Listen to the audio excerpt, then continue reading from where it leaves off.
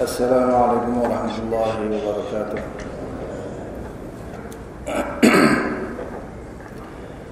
أعوذ بالله من الشيطان الرجيم. بسم الله الرحمن الرحيم.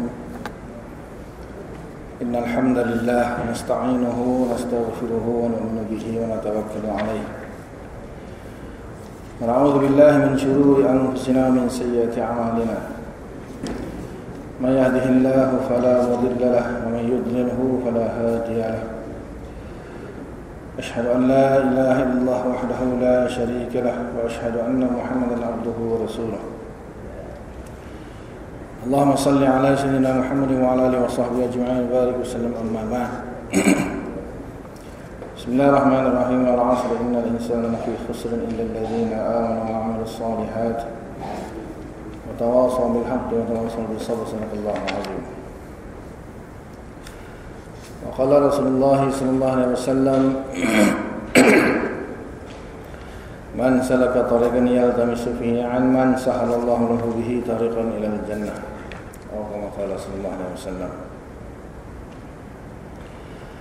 Alhamdulillah syukur kita kepada Allah Subhanahu Wa Taala kerana masih lagi diberi kesempatan untuk melaksanakan kewajipan solat subuh secara berjemaah dan insyaallah pagi ini kita sambung pengajian kita yang berkaitan dengan akidah sunnah jemaah berpandukan kitab uh, syarah Umul Barahin yang mana matan dan syarahnya dikarang oleh Al-Imam Sanusi rahimahullah. Dan sebelum itu sama-sama kita buka dengan bacaan umul kita Al-Fatihah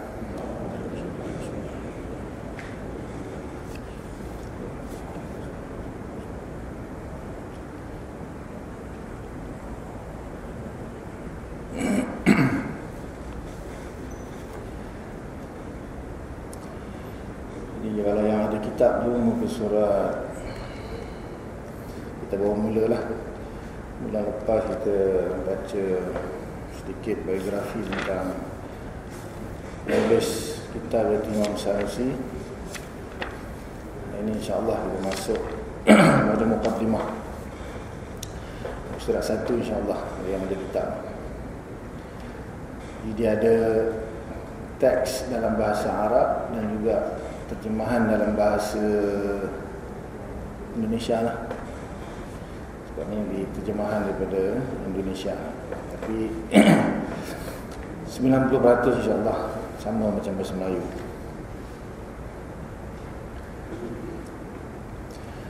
Bismillahirrahmanirrahim Muqaddimah قال الشيخ الفقيه الولي الصالح أبو عبد الله محمد بن يوسف السنوسي الحسني رحمه الله تعالى ونفعنا به وبعلومه آمين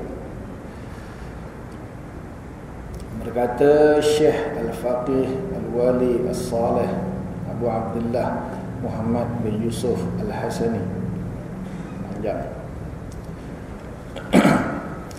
Syekh Syekh di sini maksud Syekh ada beberapa makna secara bahasanya syekh ni diberikan kepada orang yang tua lah. Sama ada sebagian ulama kata berumur 50 tahun ke atas ataupun 60 tahun ke atas maka dipanggil syekh. Yang tu dah masuk usia tua lah. Satu lagi Syekh ini gelaran bagi seseorang yang memiliki kelebihan Yang ada kelebihan. Contohnya dalam satu bidang ilmu Dia ada satu kelebihan Maka dipanggil syekh. Walaupun umur dia masih muda Umur dia baru 20 tahun atau 30 tahun Tapi dia ada kelebihan Ada ilmu Yang mendalam Mengenai satu perkara Maka dipanggil syekh. Walaupun masih muda. Maka di sini Syekh ini gelaran kepada Imam Sanusi kerana dia seorang ulama lah. Ulama besar dalam beberapa bidang ilmu sebagaimana yang telah kita baca yang lepas ilmu hadis, ilmu aqidah dan sebagainya. Kemudian dia kata al-faqih. Al-faqih ni gelaran bagi orang yang faqih yang sangat memahami Orang yang betul-betul memahami sesuatu permasalahan agama itu dipanggil faqih. Kalau yang tahu saja tak sama. Kalau tak ada orang dia hanya tahu saja tapi dia tak betul-betul faham. Tapi kalau gelaran al-faqih itu diberikan kepada orang betul-betul faham dalam satu masalah agama lah. Dan biasanya al-faqih ni diberi gelaran kepada ulama fiqah. Biasanya. Biasanya diberi diberi gelaran al-faqih itu kepada ulama yang menguasai ataupun mendalami ilmu fiqh. Dia punya plural dia, jamak dia dipanggil fuqaha. Para-para fuqaha, itu Imam Syafi'i, Imam Malik, Imam Abu Hanifah, Imam yang mutaakhiri Imam Nawawi misalnya itu semua faqih. Imam Ghazali, dan kalau orang yang uh, mendalami ilmu akidah dengan uh, hujah-hujah akli biasanya diberi gelaran mutakallim. Al-mutakallim. Di sini dia tak sebut Imam Sanusi sebagai al-mutakallim tapi disebut sebagai al-faqih. Imam Sanusi ini sebenarnya kalau kita baca bulan lepas dia ni bermazhab Maliki dia bermazhab maliki dalam fiqah tapi nak tengok kata karangan-karangan dia di dalam bidang fiqah maliki pun tak dinyatakan di sini lah. Selalunya faqih mesti di, dia ada dia punya hasil karangan dia dalam bidang fiqah. Biasanya lah itu kebiasaan. Jadi kalau yang mahir dalam ilmu fiqah dia dipanggil faqih jamaah dia atau plural dia fuqaha. Yang mahir dalam ilmu akidah yang disertai dengan hujah akli. Dia tak boleh kata ilmu akidah saja, dia kena ada qaid dengan disertai dengan kemahiran dalam menguasai hujah akli, hujah secara akal. Dia panggil mutakallim. Mutakallim ini mana ulama yang mahir dalam ilmu kalam. Ilmu kalam ini yang satu ilmu yang digunakan untuk berhujah secara akal bagi membela ataupun mempertahankan akidah-akidah daripada serangan-serangan pihak lawan lah. terutamanya falsafah dan firqah-firqah batilah yang lain yang menggunakan hukum akal, hujah akal seperti Mu'tazilah, Qadariyah, Jabariyah, Karamiyah dan sebagainya. Maka dipanggil mutakallim. Biasanya lah. Di sini dia tak sebut Imam Sanusi Al-Mutakallim tapi dia sebut Al-Faqih mungkin sebab dia ambil makna secara umum. Al-Faqih itu mana orang yang memahami secara mendalam. Maka dia bagi gelaran Al-Faqih. Sepatutnya Al-Mutakallim di sini. Ataupun Al-Mutakallim itu diberikan kepada ulama-ulama yang menguasai ilmu falsafah secara mendalam. Seperti Imam Faqud Ar-Razi, Imam Baydawi, Imam Taftazani, Imam Abuddin Iji. Itu ulama-ulama mutakallim yang hebat. Adapun Imam Sanusi, dia agak menolak ilmu kalam sebenarnya. Nanti dalam kitab ni dia akan beritahu dia menolak sebahagian ilmu kalam dan malah dia melarang membaca kitab-kitab seperti yang dikarang oleh Imam Fakhri Ar-Razi, Imam Baydawi dan sebagainya. Bahkan ulama tersebut tu ulama ulama Asy'ariyah. Jadi mungkin al-mutakallim di sini yang dimaksudkan al-mutakallim tu yang betul-betul mendalami falsafah. Kalau sekadar ilmu kalam yang basic saja tak dipanggil al-mutakallim lah ataupun kerana Imam Sanusi tak suka kepada ilmu ha, ilmu falsafah maka tak digelarkan dia al-mutakallim mungkin wallahu a'lam ini ilmu-ilmu tambahan sajalah. Ilmu tambahan gelaran-gelaran yang diberikan kepada ulama. Contohnya kalau Imam Bukhari yang panggil dia muhaddis tak panggil faqih tak panggil mutakallim.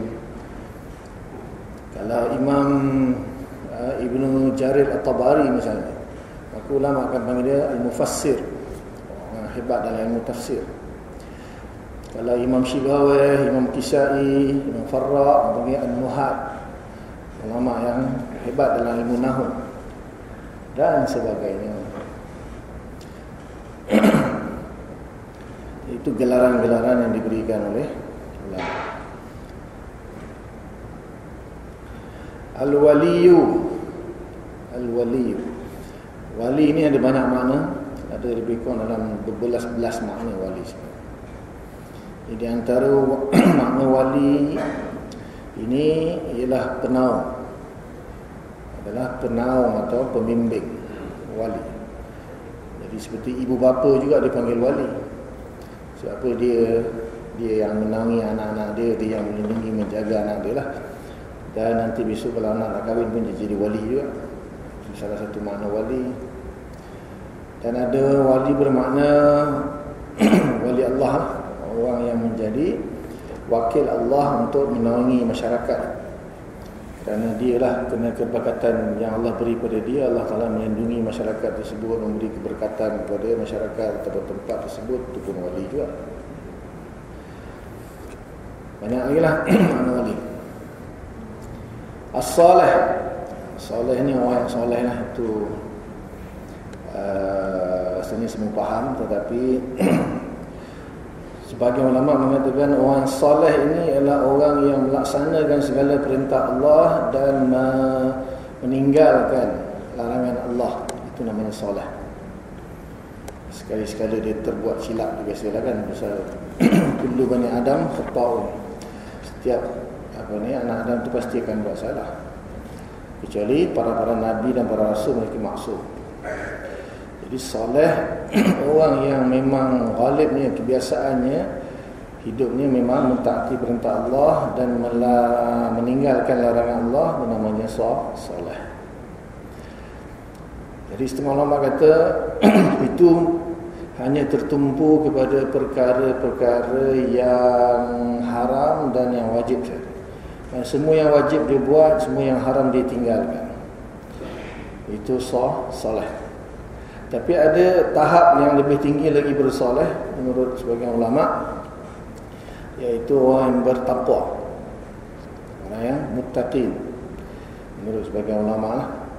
Iaitu orang yang meninggalkan yang haram dan mengerjakan semua yang wajib ditambah dengan meninggalkan semua yang makruh dan mengamalkan semua yang sunat itu naik darjat takwa naik darjat takwa kemudian ada lagi satu tahap lagi yang lebih tinggi lagi iaitu dia panggil zuhud ataupun zahid. Zahid yang tu orang yang bersifat zuhud bukan zahid amidi itu lain nama orang. Ini zahid orang yang bersifat zuhud Iaitu dia buat yang keempat tadi lah Maknanya amalkan segala yang wajib Amalkan segala yang sunat Tinggalkan segala yang makruh Tinggalkan segala yang haram Dan yang terakhir ni Meninggalkan segala yang harus. Harus hukum dia. Ada dalam hukum agama kita kan Ada lima hukum taklifi ni. Jadi yang harus. Jadi yang harus pun dia tinggal. Contohnya harus ni makan sedap Rumah besar, kereta besar apa ni duit banyak itu semua harus. Agama Islam kita tak larang benda tu. Kita nak pakai kita besar kita nak makan sedap kita nak mahal baju mahal-mahal agama tak larang. Selagi tak membazir lah. Harus hukum dia. Tapi dia tinggalkan semua ni. Dia tinggalkan kerana apa? Dia lebih tumpukan kepada yang wajib dan yang sunat. Kerana kalau ingin mendapatkan yang harus maka perlu diluangkan masa maka dia tinggal untuk mencari yang harus untuk ditumpukan kepada wajib dan sunat itu namanya zahid yang zuhud terhadap dunia. Itu beberapa gelaran yang diberikan oleh ulama sebahagian ulama lah bukannya apa semestinya. Ini yang masyur lah begitu. Jadi soleh naik kepada taqwa naik kepada zuhud. Ada banyak lagi. Sampai tahap paling tinggi itu menjadi wali Allah dan hamba Allah Darjat paling tinggi tidak ada lebih tinggi daripada hamba Darjah manusia paling tinggi adalah hamba. Tapi bila dia benar-benar menjadi hamba Allah, itulah darjah dia paling tinggi. Sebenar. Sebab para nabi pun, para rasul, bahkan nabi kita Muhammad SAW pun dianggap darjah dia yang paling tinggi di sisi Allah ialah hamba Allah. Maknanya 100% dia telah merealisasikan perhambaan diri dia hanya kepada Allah sahaja. maknanya dia tidak menjadi hamba kepada selain Allah. Tunduk dan patuh hanya kepada Allah. Laksanakan apa saja perkara yang diredai Allah itu gelaran Abdullah hamba Allah yang sebenarnya. Kita semua semua hamba Allah tapi hamba pada gelaran pada nama saja tapi hakikat sebenar adakah kita sudah memperhambakan diri kepada Allah itu? Itu kita tanya di sini ya. itu ada pembahasan lain lah. itu biasanya dalam ilmu tasawuf dibahas. Kemudian Abu Abdullah. Abu Abdullah. Abu Abdullah ni dia panggil sebagai kunyah ku kunyah panggilan.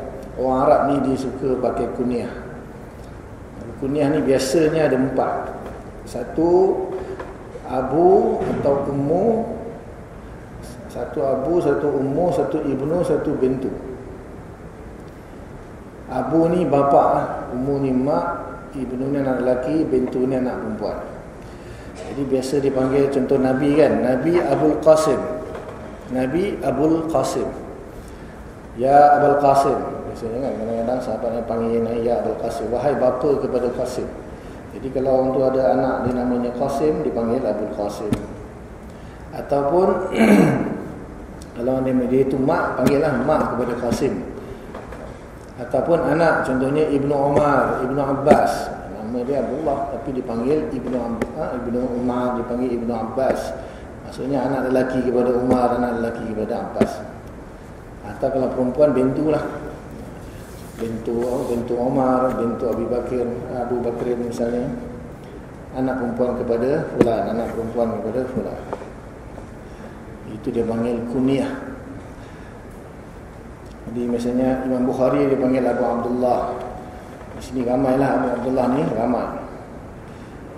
Kerana mempunyai anak nama Abdullah misalnya. Itu dia panggil kunyah. Kemudian Muhammad Ibni Yusuf. Muhammad Ibni Yusuf nama ini barulah nama Imam Sanusi iaitu Muhammad bin Yusuf. Muhammad bin Yusuf itu nama dia. Kemudian As-Sanusi ini nisbah. As-Sanusi ini nisbah. Contohnya Bukhari, Tirmizi, itu semuanya nisbah. Nawawi, itu semuanya nisbah bukan nama tu. Imam Bukhari, Imam Bukhari bukan nama dia Bukhari. Nama dia Muhammad bin Ismail Al-Bukhari. Sebabkan dia datang daripada Bukhara. Maka dinisbahkan kepada Bukhara jadi Bukhari. Jadi kalau orang datang dari Damansara dia panggil Damansari. Siapa dia tu? Imam kita Al-Damansari. Datang dari Damansara. Jadi nama tu bukan nama, itu nisbah dia panggil. Sama juga Sanusi nisbah kepada Sanus. Nisbah ni boleh kepada tempat, boleh kepada macam-macam. Biasanya nisbah kepada tempat lah.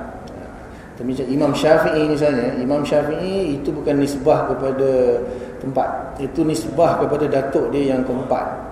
Sebab nama Imam Syafi'i Muhammad bin Idris bin Abbas bin Osman bin Syafiq datuk dia yang keempat itu dinisbahkan Asy-Syafi'i nama dia Muhammad bin Idris tak ada kena-mena dengan Syafi'i. Syafi'i itu datuk dia yang keempat maka diberi nisbah kepada datuk dia sebab apa?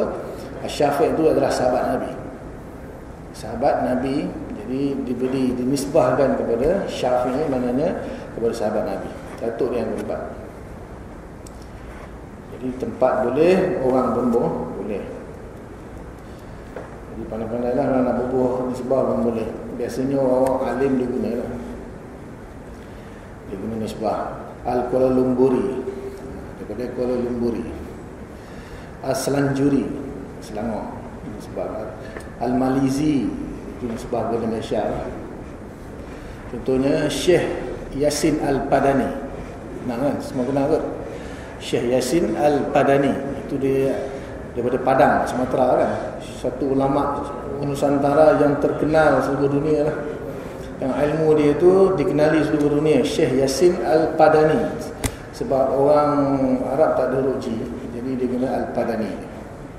Betulnya Al-Padani eh. Tapi dia tak ada dalam huruf hijaiyah Tidak ada huruf apa dia, ngah Jadi dia ringkaskan dia Al-Padani. Ataupun Syekh Nawawi Al-Bantani. Daripada Banten. Jawa di Jawa Barat ni Banten Syekh Nawawi Al-Bantani Al-Jawi. Orang Jawa. Itu ulama dunia terkenal. Dua antara ulama yang terkenal di dunia Malaysia Allah Malam belum ada lagi kot. Kalau Indonesia ramai. Syekh Yasin Al-Padani Syekh Nawawi Al-Bantani jadi Al-Bantani itu nisbah kepada Banten Jawa Barat. Padani kepada Padang Sumatera. Malaysia belum ada lagi insyaAllah nanti ada Al-Malizi Itu nisbah. Al-Hasani dinisbahkan kepada keturunan Hasan. Hasan bin Ali lah. Hasan bin Ali bin uh, Talib. Hasan Ali. Keturunan Hasan Ali. Jadi kesimpulannya ada empat. Ada empat. Satu lakab, satu kuniah, satu nama, satu nisbah. Lakab ni gelaran. Kita katakan al-faqih, al-wali, as-salih ini gelaran. Ini gelaran. Kemudian kunyah panggilan Abu atau Ummu Abu Abdullah Muhammadullah ataupun Ibnu Umar Ibnu Abbas Ibnu atau Abu itu dipanggil kunyah. Yang ketiga nama lah. Nama. Yang sebenarnya nama lah tu. Kemudian yang keempat nisbah. Nisbah kepada tempat atau nisbah kepada apa tu. Jadi kalau kita nak bagi nama kita, kita anak kita lahir, kita tanya ulama. Ada orang bagi nama anak dia Imam Bukhari bin Tirmizi. Nama anak dia Imam Bukhari bin Tirmizi. Nama dia Tirmizi dia bagi nama anak dia Bukhari. Cik ada imam lagi, Imam Tirmizi.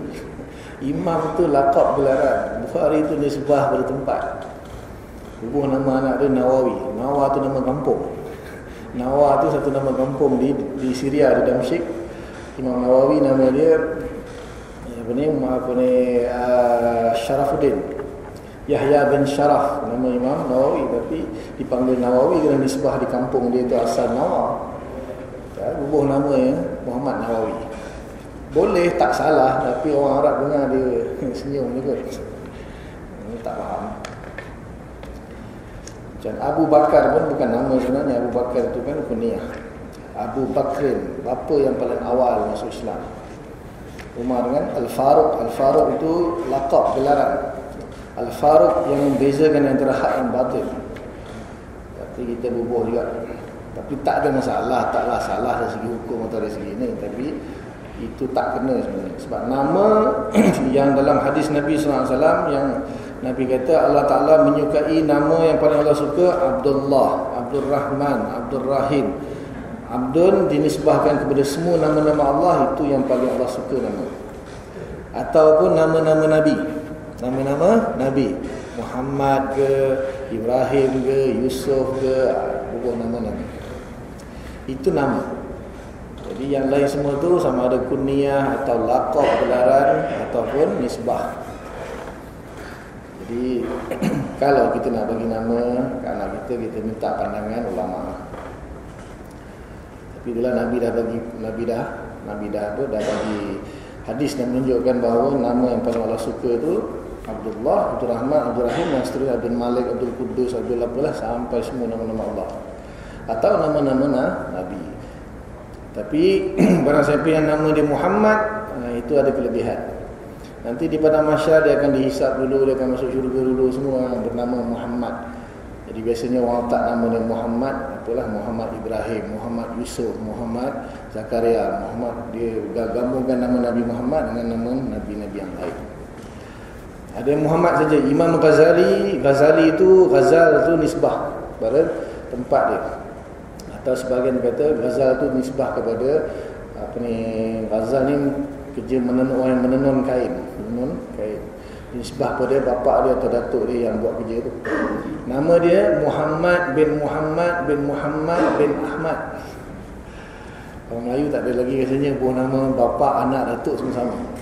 Imam Ghazali nama dia Muhammad bin Muhammad bin Muhammad bin Ahmad Al-Ghazali At-Tusi. Nisbah kepada Ghazal dengan Tus. Banyak ulama nama Muhammad. Sebab nanti di pada masyarakat yang Muhammad dulu dipanggil. Itu berkaitan dengan itulah nama lakab dan sebagainya. Rahimahullahu ta'ala Rahimahullahu ta'ala Biasanya kan kalau sebut nama Nabi kita disuruh berselawat dan salam kepada Nabi dengan nama Muhammad sallallahu alaihi wasallam kan. Dengan nama para sahabat radhiyallahu taala anhu, dengan para nama para tabi'in pun boleh radhiyallahu taala anhu ataupun rahimahullah. Jadi itu sebenarnya satu lafaz yang berbentuk khabariyah tetapi bermakna insya'iyah. Apa tu ustaz? Lafaz yang bermaksud satu statement, satu kenyataan tetapi mengandungi makna berdoa. Jadi bila kita kata radhiyallahu taala anhu, radhiya itu fi'il madhi, past tense. Past tense tahu kan? Past tense benda yang sudah berlalu. Jadi radhiyallahu anhu Allah telah redha kepadanya. Jadi di situ sebenarnya walaupun dia punya kenyataan itu merupakan khabar memberitakan satu khabar yang sudah berlalu tetapi di, di sebalik maknanya ada doa iaitu ya Allah ha, redalah kepadanya.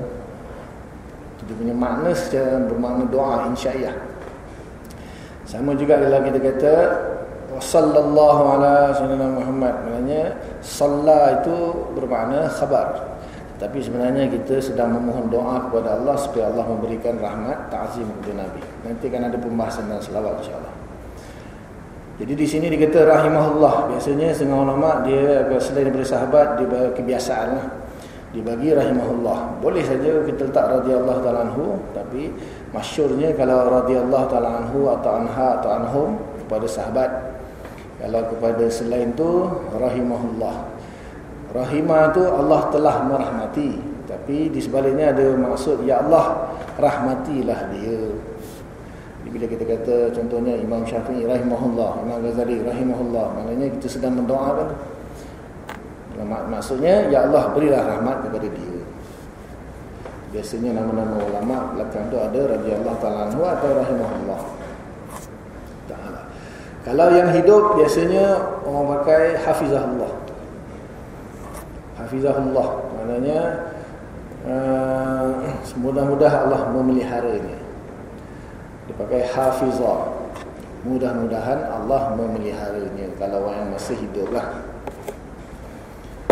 Itu gelaran-gelaran apa doa-doa yang diberikan kepada nama-nama ulama biasanya. wa nafa'ana bihi wa bi'ulumihi dan mudah-mudahan Allah Subhanahu wa taala memberi manfaat dengannya wa bi'ulumihi dan dengan ilmunya. Amin. Ini pun doa juga lah walaupun di mana jumlah ada jumlah khabariyah statement yang menunjukkan fa'il madhi past tense. Wa nafa'ana telah memberi manfaat. Tapi sebenarnya makna dia ber berdoa jadi. Maknanya wa nafa'na bihi wa bi ulumihi ya Allah berilah kepada kami manfaat dengan sebab uh, Imam Sanusi dan dengan sebab ilmunya. Amin. Itu dia punya kata-kata pembuka. Alhamdulillahil wasi'il judi wal ata' allazi syahadat biwujubi wujudihi wahdanat وحدانيته وعظيم جلاله ووجوب افتقار الكائنات كلها إليه في الأرض والسماوات Alhamdulillah segala puji bagi Allah milik Allah dikhususkan kepada Allah dan yang berhak hanya Allah. Itu makna alhamdulillah. Panjang pembahasan kalau nak bahas alhamdulillah sebenarnya. Jadi alhamdu tu alif lam yang masuk kepada alhamdu itu merupakan satu makna sama ada istighraq ataupun ma'hud meliputi segalanya ataupun yang sudah diketahui. Itu kalau biasanya orang Melayu dia kata segala puji bagi Allah. Jadi hamdun tu puji saja. Tetapi alif lam itu menunjukkan makna istighraq dengan segala puji. Segala puji bagi Allah. Kenapa kita kata segala puji bagi Allah? Sebab apa? Makna kepujian itu ialah kita memuji seseorang itu kerana ada kelebihan yang ada pada dia. Itu biasanya kan maksud Alhamdulillah pujian itu ialah kita memuji seseorang itu kerana ada kelebihan kepada dia. Nanti dia ada pembahasan lagi tentang makna lughawi, makna istilahi dan sebagainya lah panjang sebenarnya. Cuma secara ringkasnya Alhamdulillah itu kita memuji seseorang itu kerana ada kelebihan padanya. Jadi ada empat jenis pujian lah di sini iaitu kita memuji Allah itu biasa kita memuji Allah. Sebab sebenarnya yang yang yang paling banyak sebenarnya Allah memuji Allah, Allah memuji makhluk, makhluk memuji Allah, makhluk memuji makhluk. Ada empat empat jenis pujian di sini. Allah memuji Allah tu banyaklah dalam Al-Quran Allah memuji diri dia sendiri tu banyak dalam Al-Quran. Dan Allah memuji makhluk banyak juga lah Allah puji Nabi, Allah puji manusia-manusia yang soleh, Allah puji Nabi-Nabi dan sebagainya. Itu pujian Allah kepada makhluk. Kemudian pujian kita kepada Allah. Itu biasalah kita sebelum doa kan kita banyak puji Allah Taala. Kita menyatakan alhamdulillah itu pun sudah merupakan satu bentuk pujian kepada Allah. Dan yang keempat pujian makhluk kepada makhluk. Kita memuji manusia, kita puji isteri kita, puji kawan kita, puji anak kita, puji siapa-siapa. Tapi apa pun keempat-empat tu pujian tu hanya kembali kepada Allah. Allah memuji makhluk pun kerana kelebihan yang ada pada makhluk itu kembali kepada Allah balik sebab apa kelebihan itu diberikan oleh Allah kepada makhluk. Kita memuji makhluk pun kita memuji makhluk kerana ada kelebihan pada dia kan. Kita puji dia, eh, cantik yang kau ni, baik yang kau ni, kita puji. Tapi kebaikan yang ada pada kecantikan, kebaikan yang ada pada orang kita puji itu kan datang dari Allah juga. Allah yang memberi dia kebaikan, kecantikan, keindahan, kesempurnaan yang menyebabkan kita pun memuji apa sifat-sifat yang baik yang ada pada diri dia itu.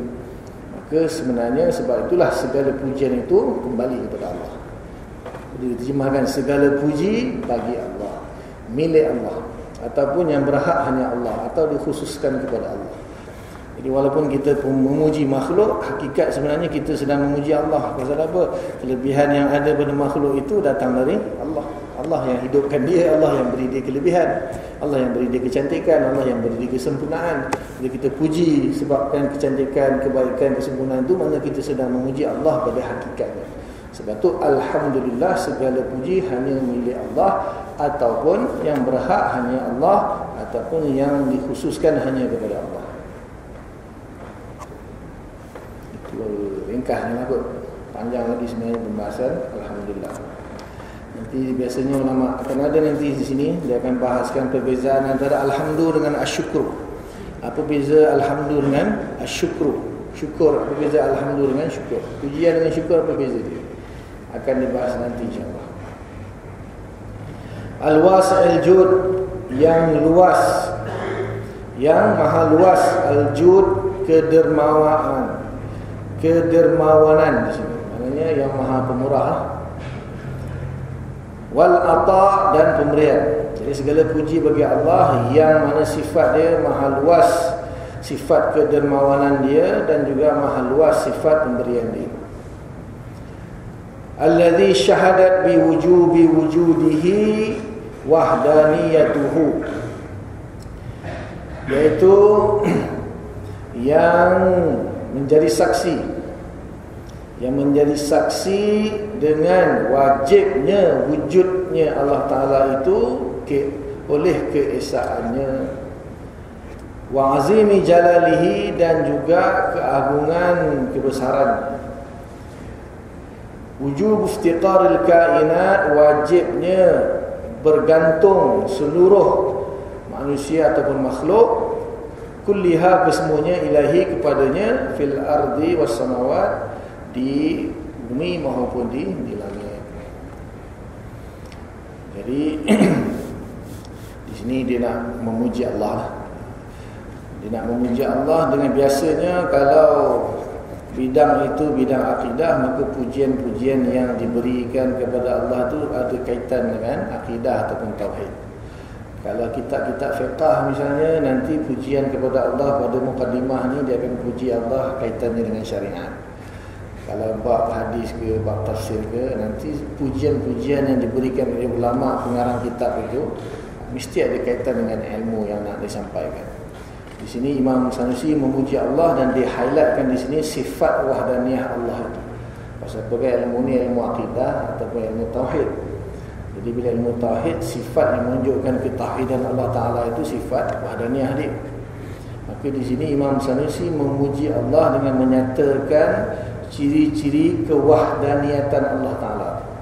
Yaitu Allah Taala memberi memberikan nikmat betapa pemurahnya betapa dermawannya Allah Taala betapa pemberinya Allah Taala kepada makhluk-makhluk ciptaan dia. Kenapa? Sebab semua makhluk-makhluk di langit dan di bumi iftiqar kepada Allah.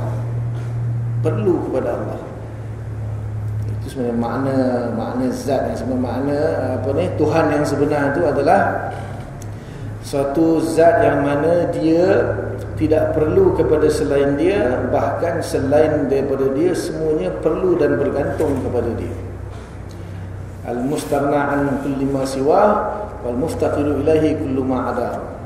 Iaitu dia tidak memerlukan kepada selain dia sebaliknya selain dia semuanya perlu dan bergantung kepada dia. Itu dipanggil ilah. Jadi di sini kewahdaniatan Allah Taala itu keesaan Allah Taala itu dibuktikan ha, dipersaksikan dengan perlunya seluruh makhluk kepada dia dan dia memberikan segala keperluan itu kepada makhluk. Sebab itu dia kata di sini Allah tu maha luas pemberian dan uh, pengurniaannya menunjukkan dia ini betapa dermawannya Allah Taala itu kerana apa? Kerana semua makhluk dia perlu kepada dia. Bermula dari segi nak wujud itu pun perlu kepada dia dan untuk sustain dalam kewujudan itu pun perlu kepada Allah. Ketika, maka tidak ada selain Allah. Makhluk ini tidak boleh bergantung kepada selain Allah. Semuanya bergantung kepada Allah. Bahkan Allah tak bergantung langsung kepada makhluk. Bahkan dia yang memenuhi segala keperluan makhluk. Maka itu menjadi saksi sebagai Kewahdaniatan ataupun keesaan Allah Taala sebagai Tuhan yang satu jadi Imam Sanusi dia mukadimah dia ni dia memuji Allah dengan dia highlightkanlah sifat wahdaniyah Allah Taala itu. Al-Aziz allazi 'azza fi mulkihi an an yakuna lahu syarikun fi tadbiri syai'in ma. Fa ta'ala Allahu jalla wa 'azza 'an syuraka. Al-Aziz yang Maha Perkasa. Dia kalau dalam pembahasan Asma'ul Husna ni Panjang pembahasan Setiap sifat Allah tu dibahas Apa makna Ar-Rahman Apa makna Ar-Rahim Apa makna Al-Malik Al-Qudus Al-Aziz Al-Wahab segala, segala nama tu dibahas dalam kitab yang membahaskan Asmaul Husna. Di sini Al-Aziz dia memberi makna maha perkasa. Ada sebahagian ulama memaknakan Al-Aziz sebagai yang maha agung pun ada, yang maha pemurah pun ada. Di sini dia kata Al-Aziz yang maha perkasa. Alladhi azza fi mulkihi. Yang mana dia adalah zat yang perkasa ataupun mulia pada kerajaannya. Pada kerajaan an an yakuna lahu syarikun. Daripada adanya sekutu baginya ya Allah taala ni tidak ada sekutu baginya sama ada eh, sekutu yang berasingan ataupun sekutu yang mentadbirkan ataupun yang menguruskan kerajaan. Adapun malaikat yang diciptakan untuk menjalankan tugas-tugas itu itu bukan sekutu dia. Itu memang Allah taala memang menciptakan malaikat untuk malaikat menguruskan segala sebagai tugas sebagai taklif tasyrif bukan sebagai sekutu Allah Taala. Bukan pembantu Allah Taala Allah tak perlu pembantu tak perlu sekutu tak perlu apa pun. Tapi dia sebagai Tuhan lah. Dia sahaja menciptakan malaikat untuk menguruskan sebahagian kerajaan dia lah. kerajaan langit dan bumi.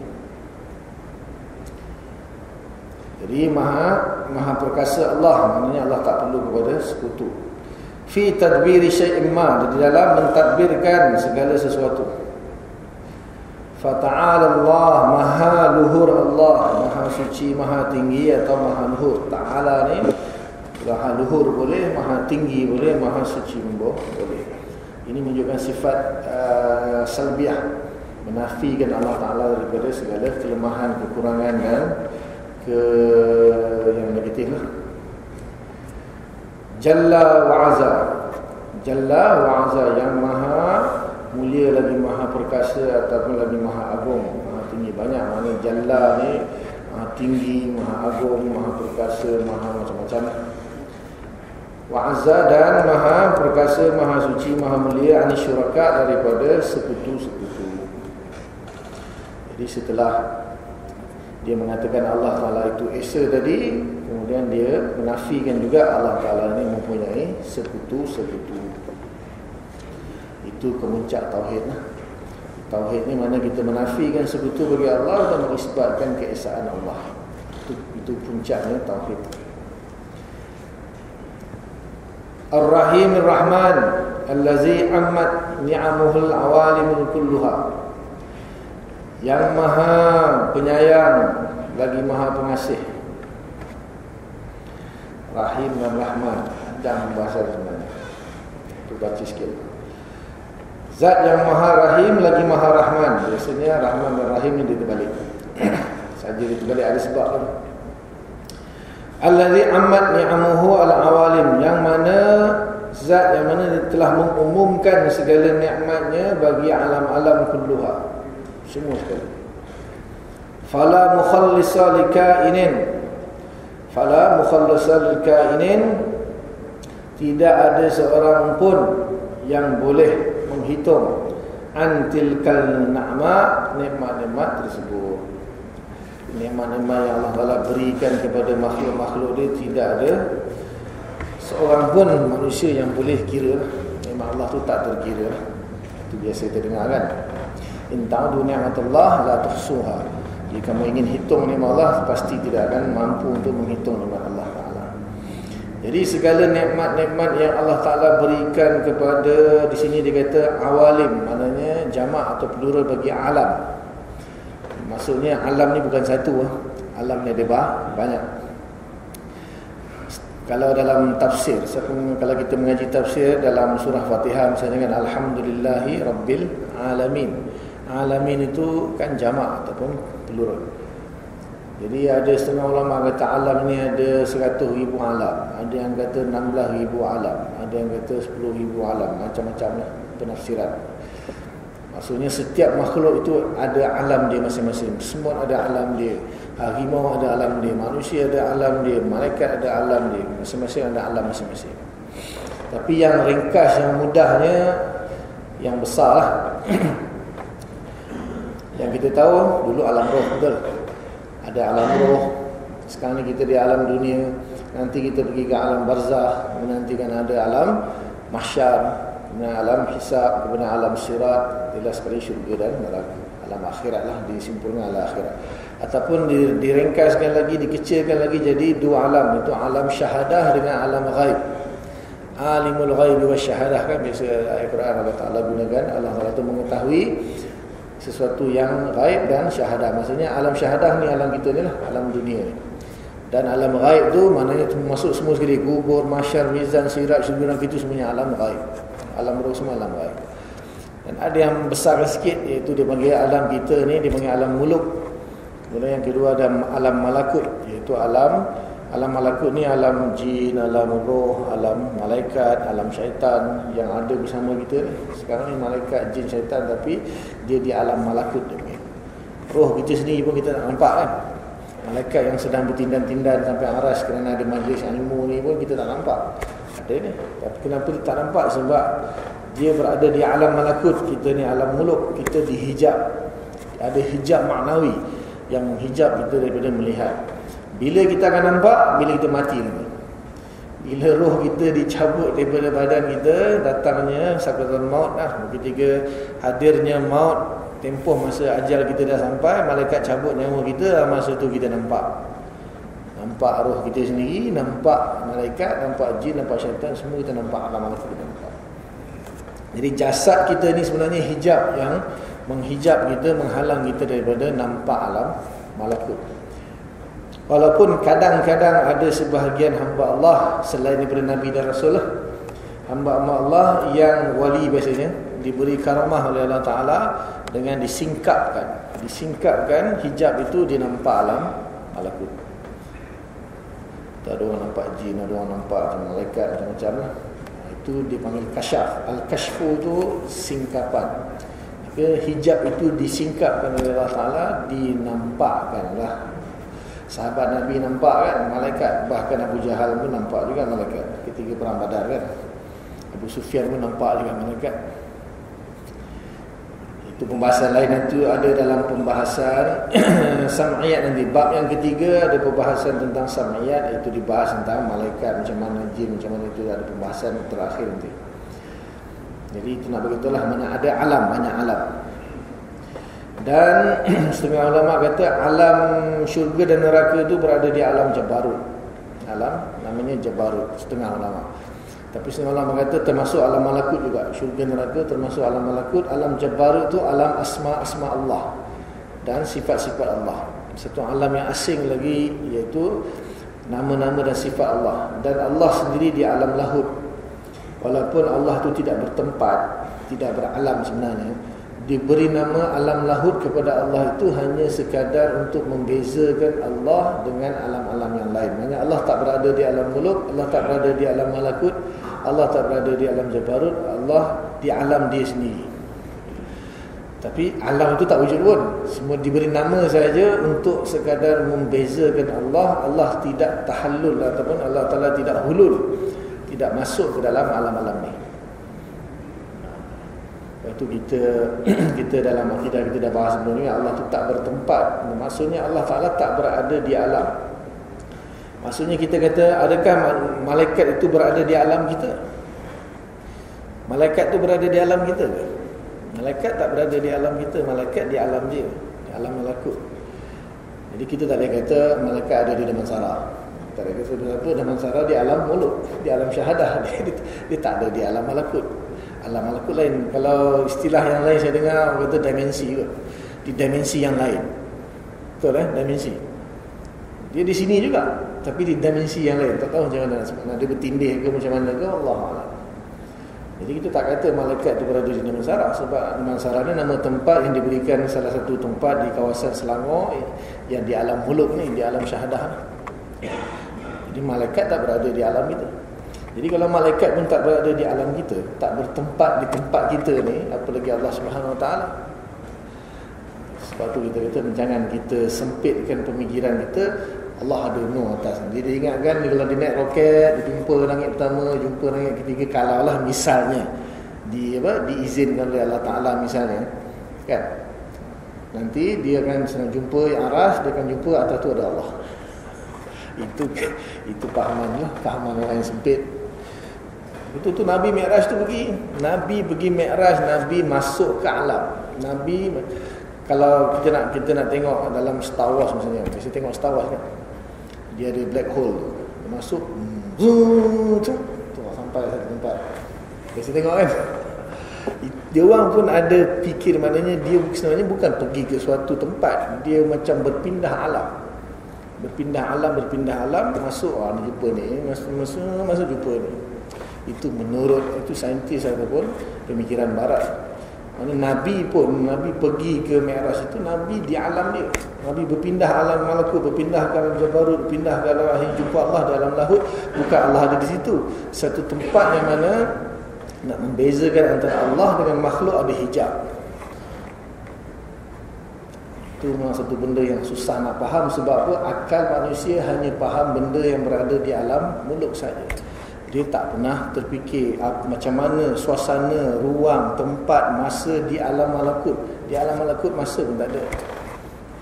Alam malakut masa pun tak ada. Malaikat di langit yang ke tujuh misalnya nak turun ke bumi sekejap je. Kalau kita nak ukur kita punya jarak daripada bumi ni sampai ke langit yang ke tujuh ikut jarak ikut hadis Nabi 3500 tahun. 3500 tahun. Tapi malaikat yang duduk di langit sana Nak datang ke bumi ni Sekelip mata Dia tak perlu perjalanan selama 3,500 tahun. Kalau alam muluk ya Kita nak pergi Mekah ke Nak pergi mana-mana tempat jauh Perlu 10 jam 15 jam Betul Itu nak kata terbang Kalau Superman sekalipun Dia boleh terbang lah Kalau wujudlah Superman boleh terbang Itu pun dia perlukan masa Untuk pergi ke satu tempat cepat macam mana pun dia tetap perlukan masa untuk sampai ke satu tempat Tapi malaikat di alam malakut dia tak perlu masa sebab masa tak wujud di alam dia. Jadi kalau masa tak wujud di alam malakut bagi Allah lagi lah alam Allah tu langsung tak ada masa, tak ada tempat, tak ada ruang. Otak kita memang tak boleh nak comprehend. Tak ada otak yang boleh comprehend benda ni beyond our comprehension kata Allah itu kehebatan Allah Ta'ala menciptakan alam-alam ini. Kita jangan sempit kita duduk fikir alam kita apa yang berlaku di alam kita itulah pasti akan berlaku di alam-alam lain. Tak itu orang yang sempit fikiran dia. Dia ingatkan alam ni syurga saja kita dah cerita dulu kan. Syurga maknanya apa yang kita nak makan pun muncul depan mata. Kalau zaman sekarang logik tak Logik ke tidak? Kita nak makan satu makan, tiba-tiba makanan itu muncul tentu saja dan kita makan tulang-tulang burung yang daging panggang burung yang kita makan tu kita dia akan bercantum balik jadi burung. Logik tak? Bidadari pakai tujuh lapis pakaian. Cuba terang tengok pakai tujuh lapis pakai tujuh puluh lapis pakaian tak mati kepanasan. Tak masuk akal. Tak muda-muda, uh, tak tua-tua, sentiasa muda. Tak masuk akal. Banyak lagi benda-benda yang diceritakan oleh Allah Ta'ala yang yang yang seperti alam syurga pun dah tak masuk akal. Apa lagi yang Allah Taala tu sendiri? Kalau kita cuba juga nak memahami Allah dengan akal kita maknanya kita ni sempit lah jadi di sini dia cerita tentang alam lah. Yang bagi tu alam ni bah, banyak. Cukup kot. Nanti nak bahas tentang Rahman dan Rahim tu panjang bahasa Rahman dan Rahim kalau saya mula mahu setengah jam dengan pembahasan Nanti kita sambung lagi insyaAllah. Itu baru mukadimah lah. Biasa kalau mengaji kitab-kitab turas Kitab-kitab Arab macam inilah cara dia. Setiap satu perkataan tu kita akan bahas Kita akan syarah. Kita akan kuraikan Wallahualam. Ada soalan sekat ni hmm? Soalan? Ada soalan ilmu Islam ni memang sangat-sangat luas. Kadang-kadang kita tak terfikir pun tentang perkara tu. Lepas bila kita mengaji, mengaji, baru kita tahu, kita tahu, oh macam ni punya, macam ni. Tidak ada agama lain yang ada ilmu macam Islam. Tak ada agama lain yang ilmu ni macam Islam ni ilmu. Ilmu Islam, kita ada ilmu tafsir, ilmu hadis, ilmu akidah, ilmu fiqah, ilmu uh, tasawuf, ilmu tajwid, ilmu sirah, ilmu apa macam-macam. Ilmu ada. Ada agama Kristian ke, agama Hindu ke ada. Tafsir Hindu ada. Tafsir Cina. Kita tafsir ada. Islam ni ilmu dia sangat luas. Jadi mudah-mudahanlah memberi manfaat lah. Apa yang saya sampaikan. Cukup? Cukup eh? Jadi setakat saya saja dulu untuk kali ini apa yang baik itu daripada Allah Subhanahu Wa Taala, apa yang tak baik kemana saya dan minta ampun kepada Allah, kemarin tuan muslimin muslimat. Mudah-mudahan Allah beri taufik dan kita faham apa sampaikan dan kita tanggung dengan kafarah itu subhanallah wa bihamdika nasyhadu la ilaha illa anta nastaghfiruka wa natubu ilaik subhana rabbika rabbil amma yasifun. Wassalamu ala mursalin walhamdulillahi rabbil alamin. Assalamualaikum warahmatullahi wabarakatuh.